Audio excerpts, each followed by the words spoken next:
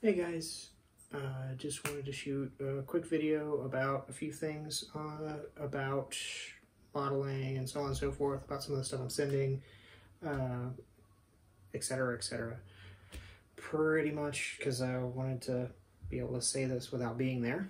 Um, but uh, what I got for you guys is just like a small smorgasbord. Wesley, this is for you. This is uh, just a really fun kit that I've built myself in the past. I highly suggest it. It's fun. It's also a cool mobile suit called a Gouf, and it's a lot of fun. I am including a bunch of extra stuff inside, some stickers and treats and uh, extra stuff that I got uh, from buying way too many models.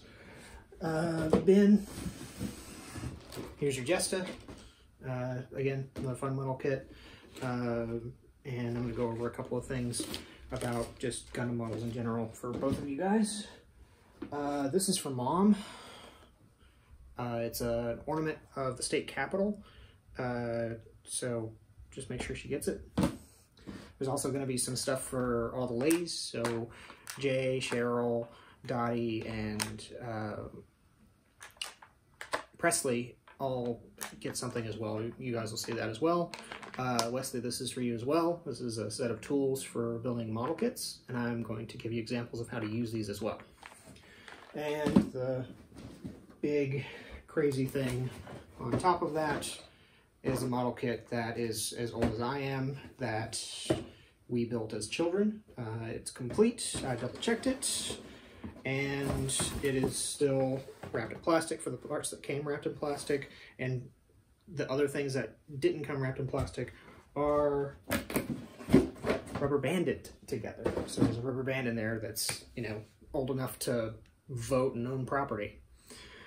Uh, but, you know, I, I, hope you guys enjoy what I'm sitting, of course, and also enjoy the hobby because it's a lot of fun. I've been doing it since 2015. Uh, I've, you know, we built when we were kids and everything like that, but, you know, whenever I went to New Zealand, I got back into the hobby uh, because of a store there uh, that me and Kim found that was really neat.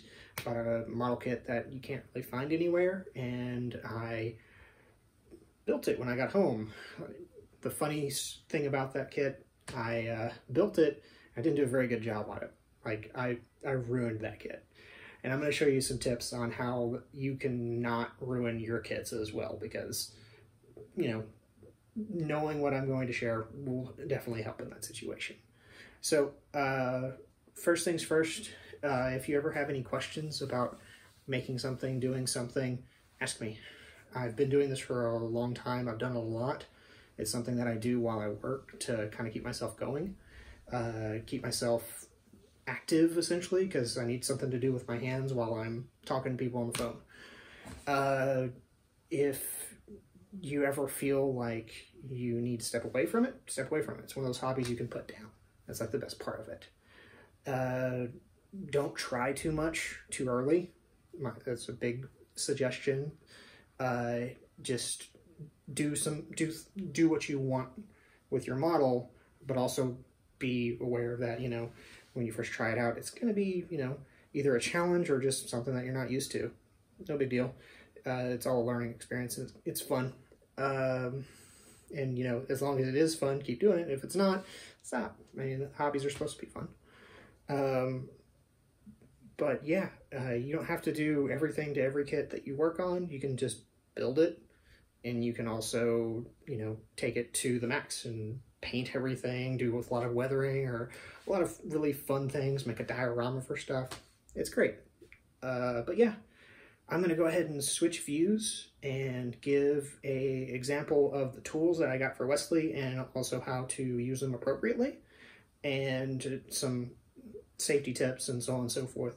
And uh, along with that, I'm going to include some places to get hobby stuff and uh, either online or in person in your area. Uh, but other than that, I'm going to go ahead and cut here. All right, so this is the toolkit that I got for Wesley. Uh, it is from uh, the USA Gundam store. I actually have a little sticker for them here. Uh, they're super awesome and they're out of Florida, so they actually get stuff to you pretty quickly whenever you order stuff online from them. Uh, this is their beginner's uh, toolkit, and I just wanted to kind of demonstrate how to either use the tools or also just kind of explain what they are. So the first tool I wanted to show is this one, and this is what's called a part separator. It's a, a small bladed uh, item that's not really a sharp blade, it's a dull blade, but it's essentially intended to go in between two parts that you've put together incorrectly or that you need to take apart for some reason and separate them. So if you try to pull apart parts that are already put together, most likely you're going to break something on them. But if you use a separator, it makes it a lot easier and you're less likely to break them. Just be careful when you do that. Uh, uh, be slow and don't pull too hard uh, and you won't break things. Even if you break things though, you can still fix them. That's the other good thing. The next tool is a set of sharp pointed tweezers and they are super good. These are super nice tweezers, very, very high end, have a very, very sharp point that they come to. Uh, these are intended for uh, sticking on stickers and decals.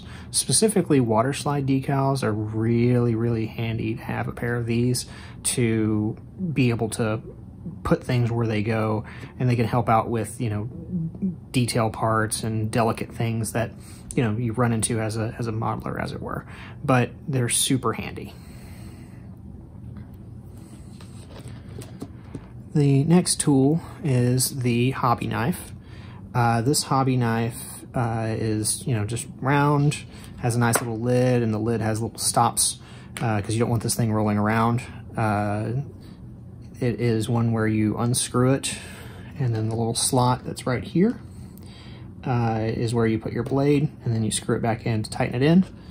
Uh, it comes with a set of blades. they are one side sharp, and the other side is where you actually stick it into the hole. And I uh, highly suggest, you know, making sure you always have a nice sharp one of these around. Uh, Wesley, uh, make sure you, uh, you know, have parental supervision when you're using this at first and you get comfortable with it and everything like that. It's a tool that you'll use a lot in hobbying, and I just highly suggest being um, proficient in, in how to use it properly. I'm going to go over the, how to do that uh, here in just a moment. But uh, just be very careful. Uh, and one other thing is if you do, you know, inevitably it does happen, everyone cuts themselves no matter how careful they are. It is something that does happen. Uh, just know that it's something that heals up, but it doesn't hurt really bad because of how sharp the blade is. That's a dual-edged sword, of course. But uh, it heals quickly because of how precise the cut is. So just be be a little confident in that, you know, even if you hurt yourself, it shouldn't be too bad. But just be careful. Don't uh, make sure, you know, you get your dad's help with that uh, until, you know, you guys are comfortable using that. The next uh, tool in here is actually something I wish I had whenever I started out, and that is these little plastic pieces right here. They are little clear plastic pieces, and they don't seem to have a use until you know what they're intended for. And underneath them are these little labels that say AP1000, P600. Uh, and these are what you use to adhere sanding paper to. And this comes with a small supply of sanding paper uh, in 1000 grit and 600 grit. The lower the grit, uh, the harsher it is on plastic. The higher the grit, the more it'll make it smooth. So what you do is you take the label and you stick it on one of the sticks. So you'll take this label. Uh, the back of it is like a sticker. So you just peel it off and then stick it on one of the sticks. And then you take the corresponding grit sandpaper and you stick it onto here. And what that becomes is what's called a sanding stick. Uh, more common term for it is actually like a nail file. Uh, it helps whenever you're sanding nub marks, making things smooth that you know are rough, so on and so forth. Something that you do a lot whenever you're making model kits. But it comes in two sizes and it has two sticks, and this makes it so that you know you can easily sand down uh, parts that need to be sanded down. Um, if you're needing to sand things that are round rather or, or just curved or something along those lines rather than flat, instead of using a stick, you can just use straight up paper or uh, sponges. This is a sanding sponge that's actually a nail file uh, and they're super handy. This is what I use mainly because I can get them at Sally's in bulk. Um, but this comes with a cool little thing that you can use to make your own sanding sticks. So the last tool is a set of hobby nippers and they are really nice. They're sharp, uh, but uh, they are intended only for plastic. Uh, so only cut out things that are plastic, specifically runners on parts. The big thing here is you don't want to cut anything that's over three millimeters. So those big tubes you'll see here in just a bit, the, the runners, anything bigger than that you don't want to cut out. You can use these all the way up to that, but uh, try not to cut anything bigger than that though. Now I'm going to go ahead and cut away and show you how to use the knife, the nippers, and sanding uh, appropriately for making model kits. Okay, so I've got a model kit that I'm working on. Here are the instructions right here. And I've got my tools out. So I've got my nippers, I've got my uh, hobby knife here. Uh, I've got one that's not round because um, I had a, a, desk that was actually kind of like it had an angle and I've had it roll and fall into my leg and actually stab me pretty good. Uh, so if you can, make sure that you're on a level thing or you have something to balance it against so it doesn't roll off and fall into your leg or just make sure you put the cap back on, whatever. Uh, regardless, I wanted to show you the proper way to use both the uh, nippers and your hobby knife to get parts prepared when you're building. So I'm building this model kit and here is the part runner that has all the parts on it. So I need to get uh, part A11 for the step that I'm on. So part A11 is right here and uh, I am going to go ahead and cut it out the proper way. So when you're cutting out the part, you're pulling it off of these runners and they have these little connecting points that we call gates. Whenever you are removing it, your first instinct is probably going to be to cut as close as you can in one cut. That's not what you want to do.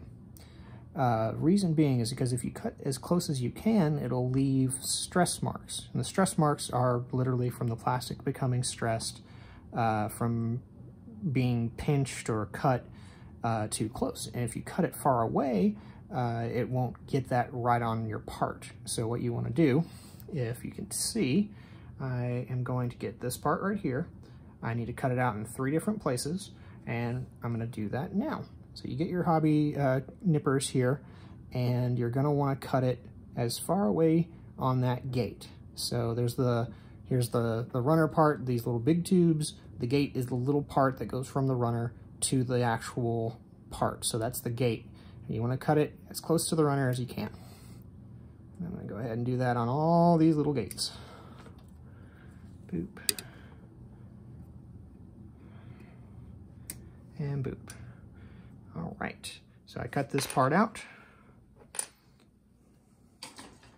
Now, if you look at the part, you can see those little gate parts are still there. Those little nubs of gates are still there. So I need to remove those. Uh, and this is kind of a three-part process. So the first part, get the, get the part out of the runner.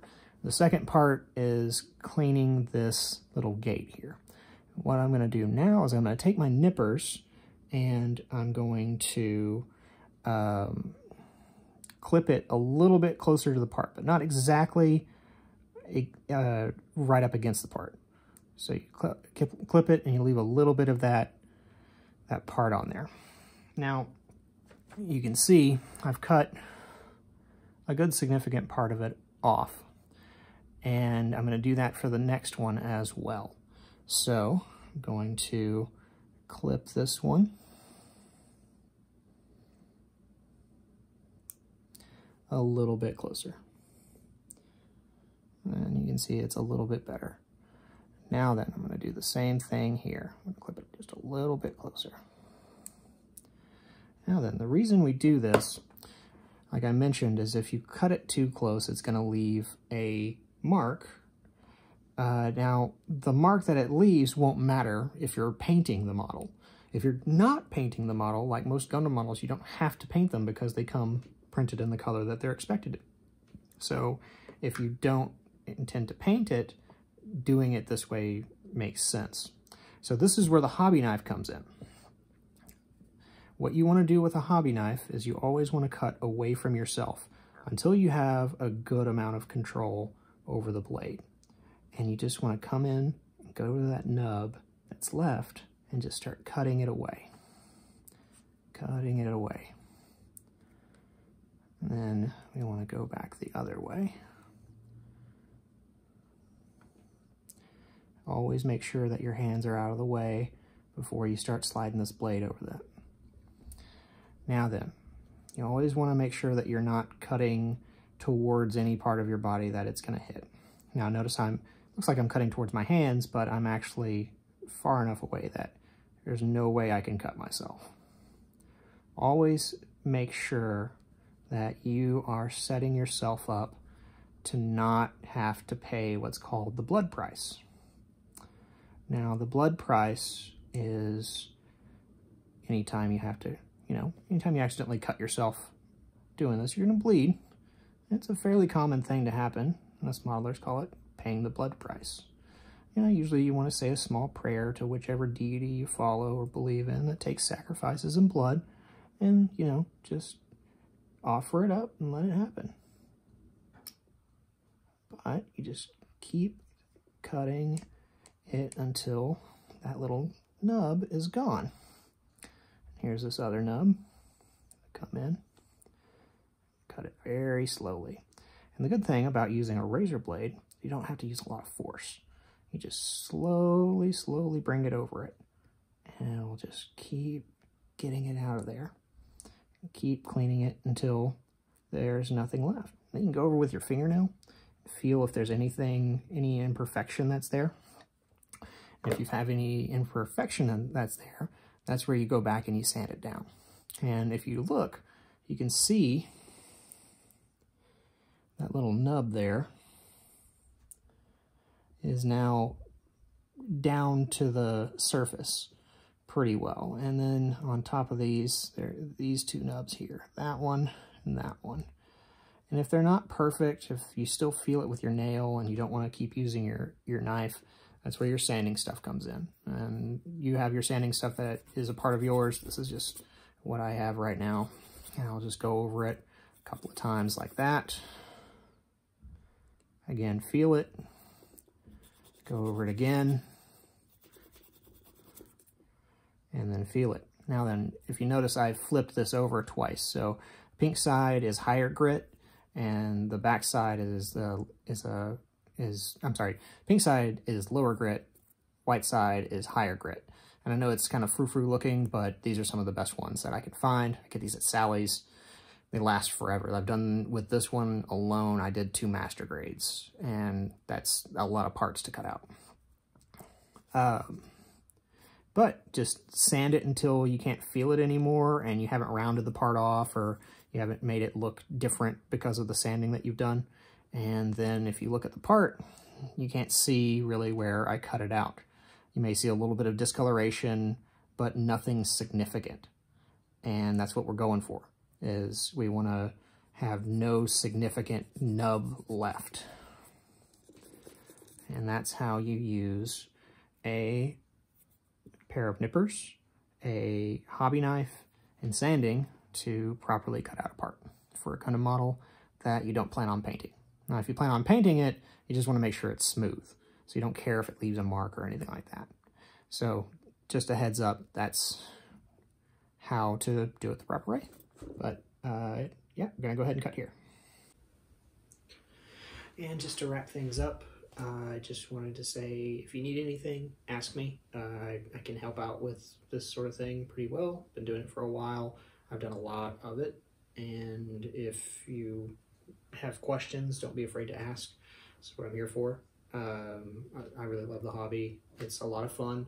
It's very relaxing, and it's something I really enjoy. I'm glad I get to share that with you guys. So enjoy. If you need anything, let me know.